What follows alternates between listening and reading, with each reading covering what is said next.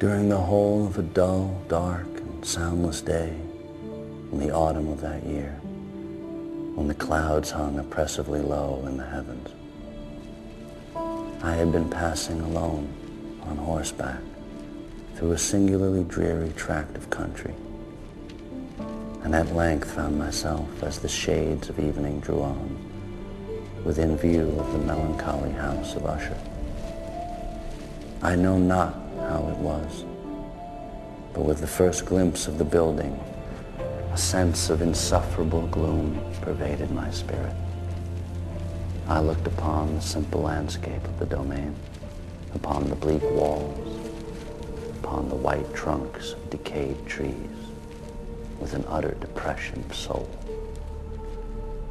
There was an iciness, a sinking, sickening of the heart.